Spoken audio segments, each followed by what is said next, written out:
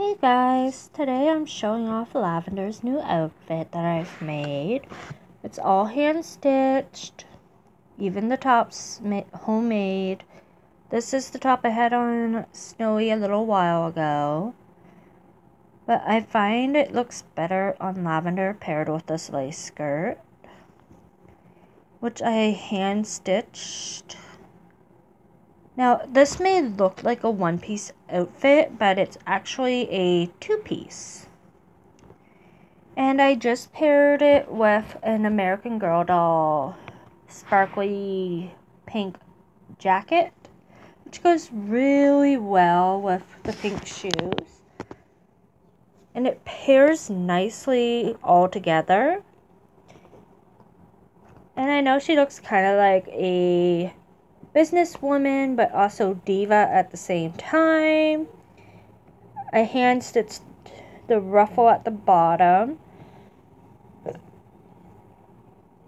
And I made it using a black fabric headband that was ripped.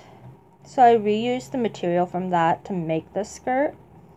And I had some old lace laying around, so I just took the lace and sewed it onto the black fabric and just kept going with it and then sewed the bottom part to make the little ruffle which is super cute. I'm actually very proud of my work because I wasn't expecting it to turn out so well. But I'll definitely make another one of these outfits and try and do like a black top with the lace. So then the skirt will have a matching piece and I will sew it together to make it into a dress. That's future plans for sewing though. I want to become a fashion designer, so this is how I'm practicing to do that. And as for her shoes, they're just Build-A-Bear shoes. Nothing really special about them besides them having a bit of a heel to them.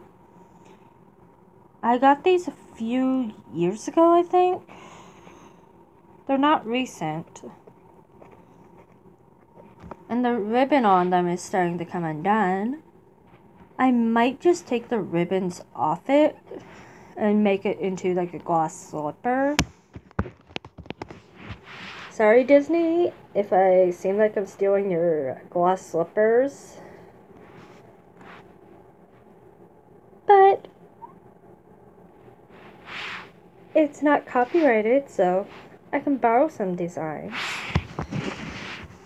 and add my own twist.